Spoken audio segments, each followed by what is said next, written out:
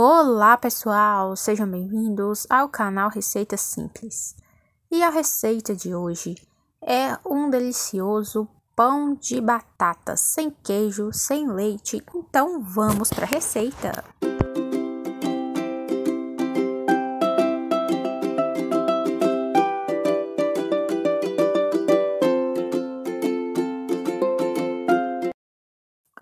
Para começar, eu vou estar utilizando uma xícara de batatas, tá? Cozidas e amassadas.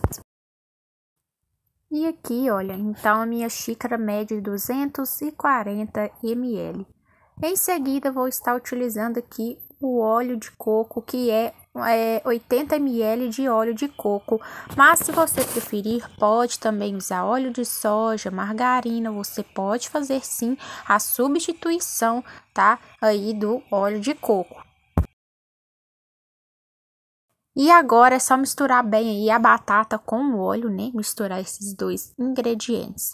Então, essa receita é, além de fácil, é muito saborosa, pessoal, porque parece demais assim é, com o pão de queijo, mas fica melhor do que o pão de queijo, na verdade, tá? Então, é, vocês podem fazer que vocês vão gostar, viu? Então, misturou bem a batata aí com o óleo, a gente vai vir com os demais ingredientes, tá?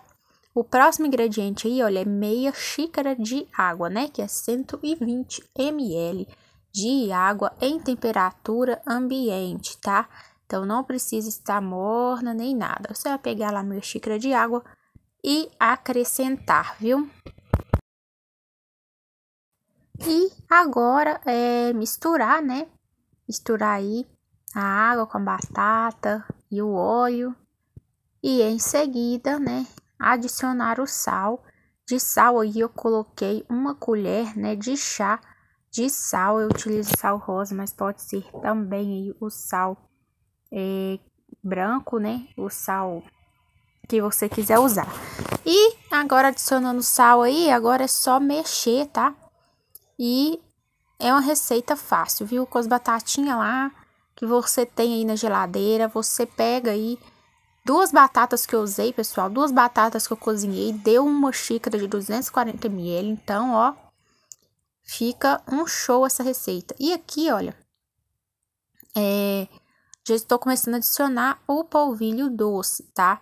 Então, aqui eu coloquei uma xícara de polvilho doce e sempre mexendo, tá?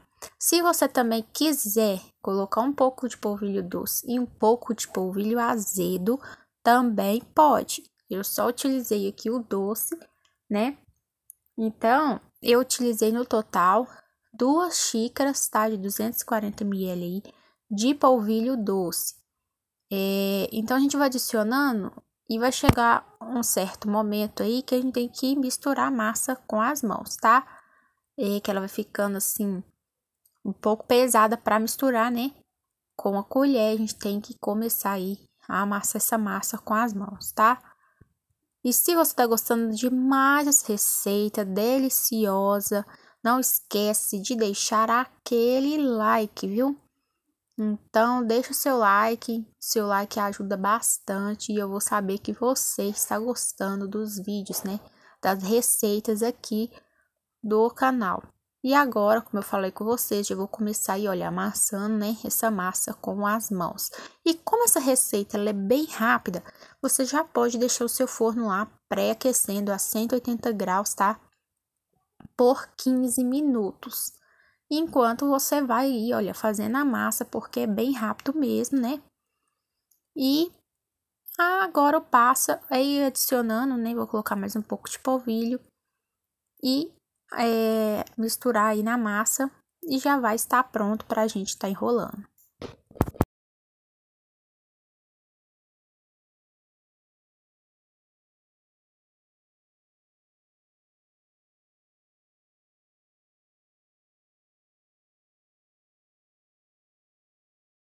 Agora, eu peguei essa forma aqui e vou untar ela com óleo de coco, tá? E tá enrolando aí os pãezinhos, tá? Enrolei redondo mesmo. É... Então, a receita super fácil, melhor do que pão de queijo, né? Fica sensacional, vocês vão ver. Fica assim crocante assim por fora, macio por dentro, tá? Então, os pão de queijo fica super macio também. Então, olha aqui. Uma massa boa de enrolar também, viu, pessoal? Boa demais. E aqui, olha, vou estar tá enrolando todos os pãezinhos, tá? Então, eu tô aqui mostrando passo a passo de como faz esse pão, né? Esse pão aí de batatas, tá vendo? Olha pra vocês verem que massa boa de enrolar, né? É, então, só tá enrolando aí todos os pãezinhos, rende bastante também essa massa. E compartilhe essa receita para que mais pessoas possam estar vendo que é possível fazer um pão, né? Um pão de batatas aí é, sem queijo, sem leite, sem ovos, né? E é delicioso, né? Então, vou estar tá enrolando aqui, tô mostrando para vocês.